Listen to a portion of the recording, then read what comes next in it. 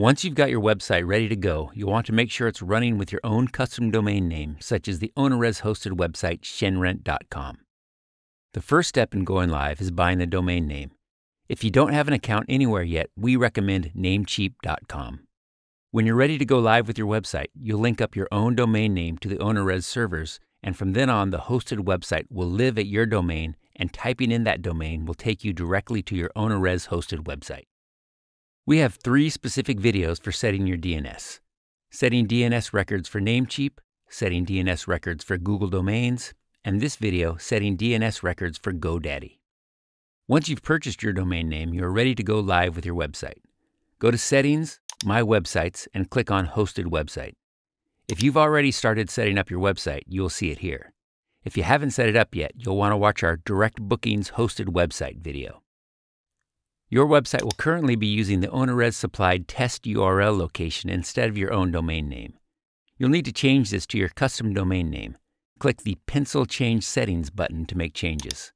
In the Hosting slash Domain Live Location field, enter your domain. If you'd like to redirect to a non www domain name, select Redirect to Apex. If you'd like to use a subdomain name such as bookings.yoursite.com, select Don't Handle www no redirect. The other options and settings will already be populated from previously setting up your hosted website. Click Save and you will see a summary of your changes. HTTPS is currently disabled. This will be enabled as soon as the DNS is configured. You can check the DNS by clicking the Check DNS button. This shows that the DNS is not correctly configured. This is a useful tool to ensure that you set the DNS correctly. Go back to Change Settings and click on the Hosted Websites Going Live link. This will take you to a page that gives you the info that you'll need to input into your domain registrar. You'll need to change the A name and C name records in GoDaddy. You'll do this by copying information from this page into your account at GoDaddy. First, copy this top number. Then head over to GoDaddy. This is where your purchase domain should be. Under your account, click My Products. You'll see your purchase domain here. Click DNS to access your DNS records. The current DNS records are set by default. To edit these, click the pencil edit icon for the type A record. Change the data field to the number that you copied from OwnerRez. Leave everything else alone and click Save Now. Go back to the OwnerRez hosted website's Going Live page and copy the second set of A-type records. Now head back to the GoDaddy DNS records page and click Add. In the Type drop-down menu, select A. In the Name field, enter the at symbol.